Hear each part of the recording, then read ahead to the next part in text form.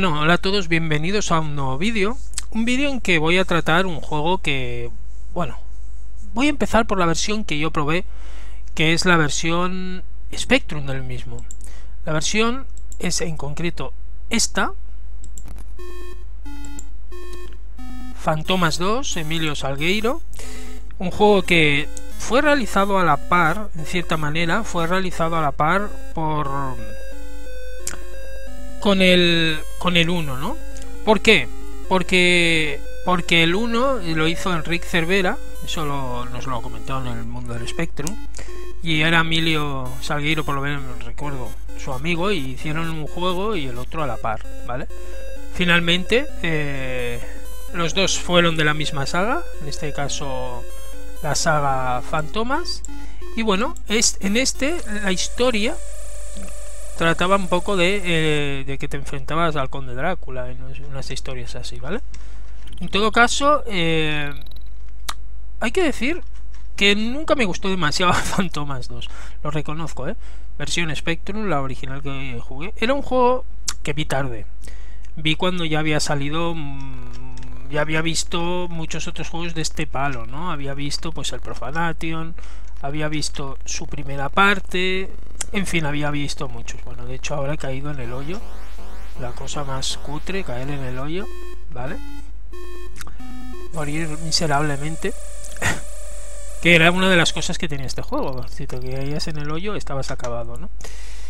Y, y bueno, era el típico juego de del estilo, del, del habitual estilo de, de juego inglés, de plataformas y el más por estilo Willy, Miner y otros, ¿no?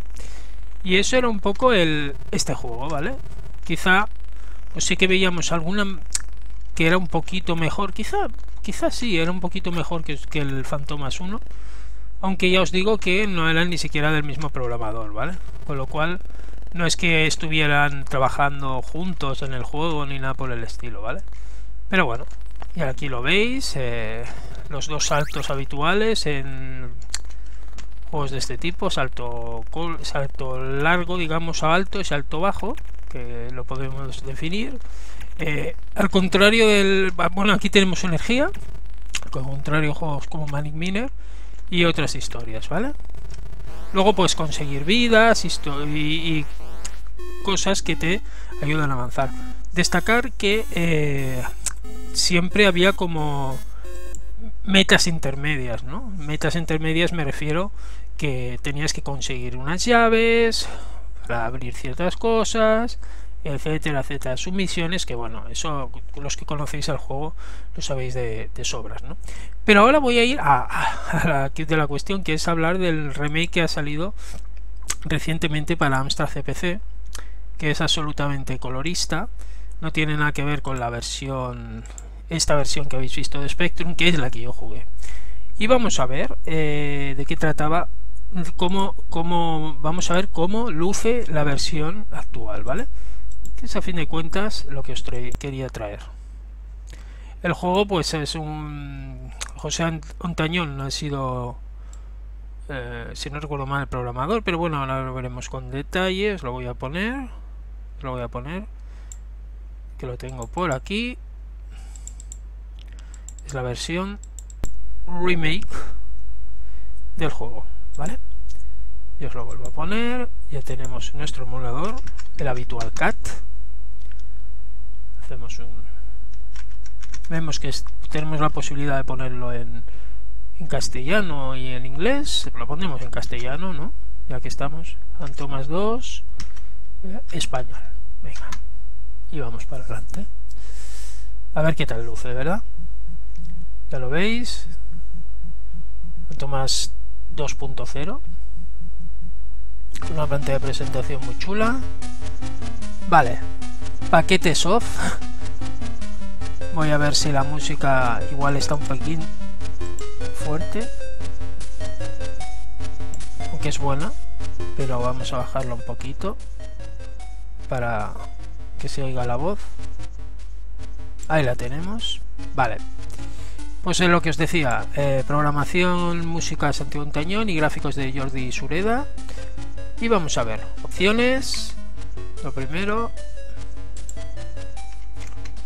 redefinir teclas, izquierda, derecha, arriba, y ya está. Izquierda, derecha y arriba. No tenemos, parece, por lo que, salvo que me equivoque, no tenemos la opción de salto alto y salto bajo, ¿vale? Hay un sonido modo 2.0, sonido clásico, pondremos el 2.0 y le damos al espacio y vamos a verlo. Como veis gráficamente pues ya estamos viendo algunas mejorías evidentes en esos fondos. También vemos que no hay los parpadeos de la versión de Spectrum. ¿Vale? Hace, eh, o sea, música in-game. Obviamente. Me, sorprende el tema de que no utilice salto corto y salto alto, la verdad. O sea, esa, eh, esa, opción es, está usado de manera distinta. También vemos que han quitado la barrera de energía han puesto corazones. ¿Vale? Y la verdad, estéticamente luce muy bien ya. O sea, no hay que ser muy lince para verlo rápidamente de que estamos ante una versión gráficamente muy superior. Vale, ahí vemos un pollo que me va a dar energía. Oh, muerto, no me dio tiempo. Bueno, vamos otra vez. Recordar que el autor original, Emilio Salgueiro, que os he dicho que tenía... Eh, oh, he muerto. Salvo que... No, he muerto. Tenía, el autor original, Emilio Salgueiro, falleció por desgracia. Por eso vais ahí inmemorial, ¿no? Vamos a ver. Ahí vamos. Salto. Hay que ajustar bien el salto. Pero aquí hay una cosa que distinta también a, la versión original. Que es que la versión original en pleno salto no podrías dirigir eh, la dirección, cambiarla. Aquí puedes, ¿no? Esa es una gran diferencia respecto a la también a la versión original de Spectrum, por lo menos. Siempre os estoy hablando de la versión Spectrum, que es la que habéis visto que he puesto antes. Y eh, yo habiendo jugado los dos, em, la de Spectrum, yo tengo que decir que esta es, ya de entrada se ve mm, más fácil, o sea, más jugable, de entrada, ¿vale? O sea, la posibilidad de dirigir el salto Ostras, todavía me he pinchado, qué, lástima. Muriendo todo el rato en la misma parte, ¿no?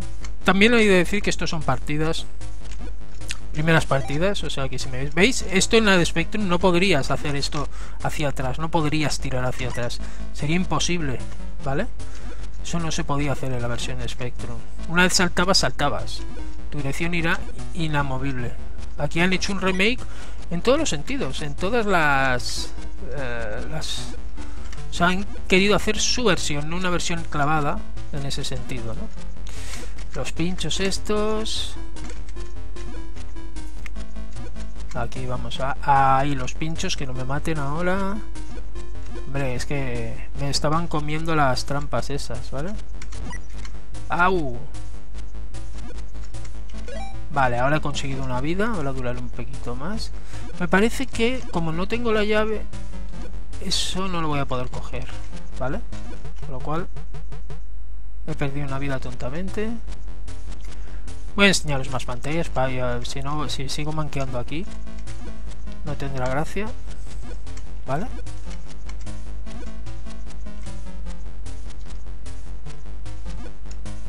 Ahí vamos, hacia arriba, mirar otro pollo por ahí.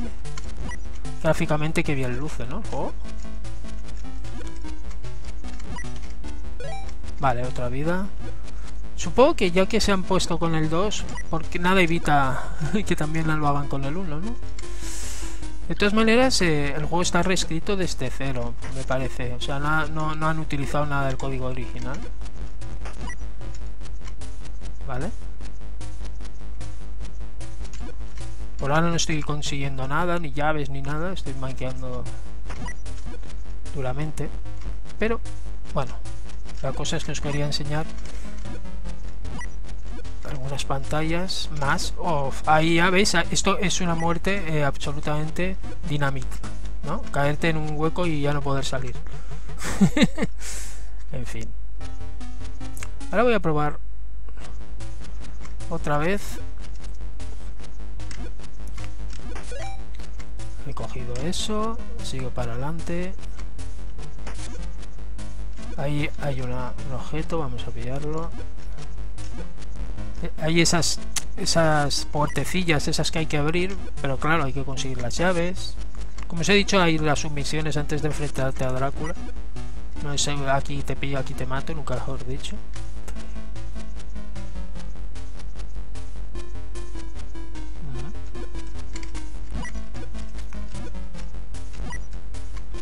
No sé, yo considero eso, que, hacer una, mm, un remake tiene muchos peligros, ¿no? Hacerlo demasiado parecido puede ser criticado. Hacerlo... En este caso lo han intentado hacer, yo entiendo, más amigable, más jugable, ¿vale? Que quizá uno de los fallos de Profanation... Que diga Profanation... De, de este... Del Phantomas 2 original era su dificultad también, al igual que Profanation endiablada. Entonces, eh, hacerlo más asequible para el jugador medio, no lo veo para nada un fallo, ¿vale? Aquí necesito la llave. No la llevo, no puedo hacer nada, voy a morir. Prontito. Yo considero que eso está, está bien. También hay que destacar que tiene una edición física, una edición física mm, en dos formatos. El formato estándar Jewel de toda la vida creado por, por Star, ¿vale? Y que está disponible en mataranet.net.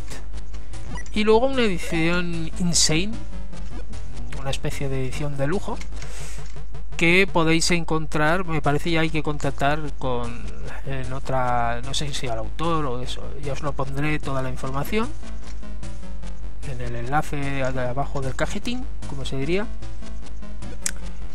que es una edición brutal. Hay ya varios unboxings eh, disponibles en internet para que les echéis un vistazo, ¿vale?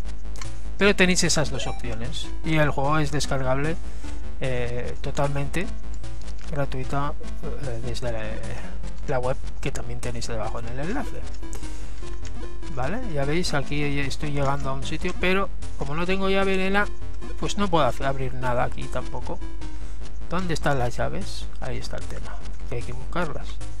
Pero bueno, como os estoy enseñando pantallas más o menos, no estoy jugando precisamente para acabarlo. Y ya os digo que... También os digo que la versión original, la de Spectrum, aquí no llegaba ni de coña. O sea, ni de coña llegaba a muchas pantallas, me era extremadamente dura, con lo cual esta, la jugabilidad la ha hecho mucho más asequible, ya de entrada, ¿no? Y bueno, primer título que han hecho para, para el sistema de, de Sugar. Mm, que hombre, la verdad es que está a un nivel realmente bueno, ¿no? Veremos qué, nos depara. Supongo que una vez ya han empezado, no se quedará aquí la cosa y caerán más. Más juegos a, al, al sistema de Alan Sugar. Y bueno, eso, ojalá también se animaran a hacer algo para Spectrum, ¿por qué no? En algún momento. ¿Veis? Aquí hay una de estas puertas. Pero como no consigo las llaves todavía de abrir ningún camino, pues estoy manqueando. Pero bueno, como buen juego plataformas, eh, saltos ajustados, eh, muy muy muy clásicos en nuestro en el sistema, el Spectrum, el en el Amstrad tenemos buena muestra de estos tipos de juegos. Bueno, lo que se llama el típico platform o plataformas ingleses que estamos tan acostumbrados a ver. Pues siempre nos, bueno, nos atraen a, los a los jugadores, ¿no? Eh, fans del Spectrum y del de, los 8 bits de, este, de esta época, ¿no? Mira, ahí tenemos una llave. Hombre, por fin. Hombre, ya tengo una llave. Por fin tengo una llave, madre mía. ¡Hala! Y no la voy a poder usar. Porque estoy manqueando. O sea que... Aquí no puedo hacer nada. A ver si consigo... Oh, no me ha dado tiempo de ir a por... Bueno.